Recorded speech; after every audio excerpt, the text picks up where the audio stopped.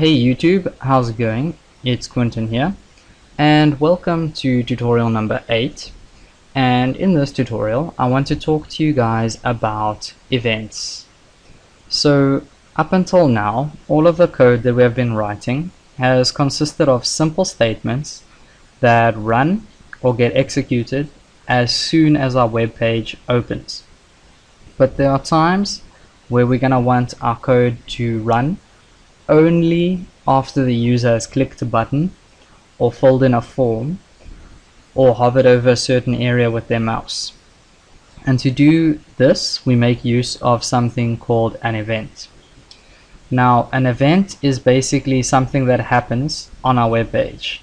And most of the time, these events only occur when the user actually triggers the certain event.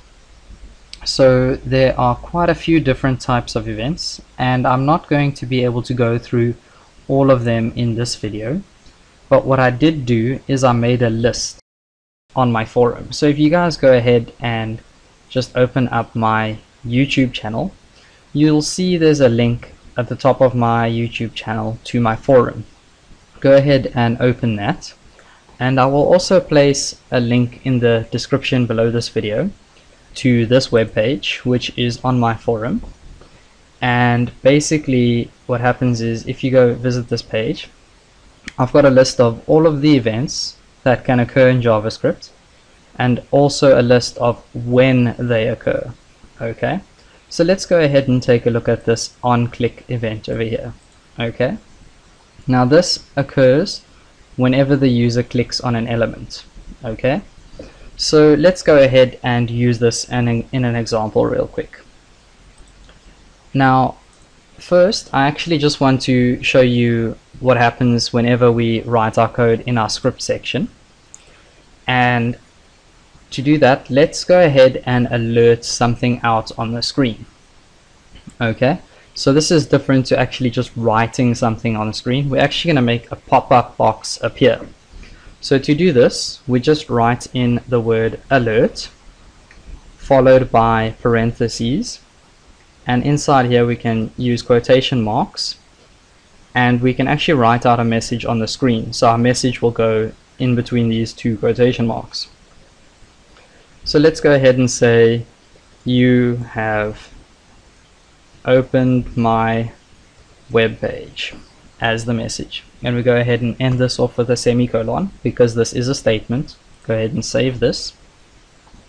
And when we run this in Firefox as soon as the page runs you can see we've got this alert box that appears and it says you have opened my web page. Go ahead and click OK and we can proceed.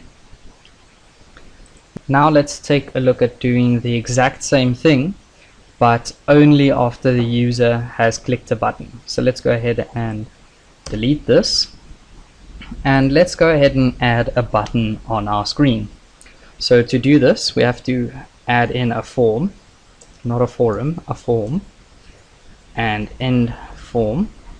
Okay and by the way if you guys don't know what I'm doing right now go back and watch my HTML videos and then you'll be good to go because you'll understand what this is. Okay and let's add in an input of type is equal to button and we'll set the value equal to click me. And we can go ahead and end this off for now. So let's save this go back to Firefox and click refresh. And I think we're actually done with these so we can close them. And now you can see we've got this button on our screen that says click me. But when we click it nothing happens. So now what we can do is actually go ahead and add in a third attribute. And the attribute that I want to add in is our on click event listener. So go ahead and type in on click because we want to use the click event. And then we can go ahead and set this equal to something okay and what I want to set this equal to is just an alert.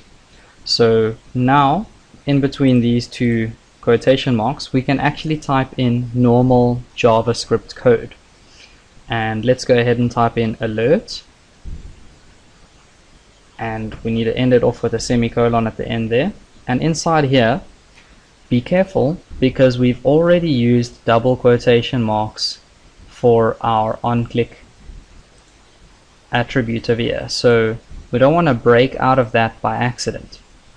So inside here I'm going to use single quotation marks and that'll work just fine too. And let's type in a message that should be alerted. So let's just say you clicked me.